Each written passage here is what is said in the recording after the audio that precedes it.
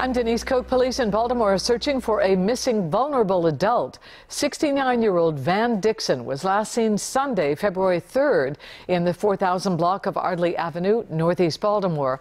Dixon is 5 foot 11, weighs 168 pounds. If you think you have information on his whereabouts, you are asked to call 911.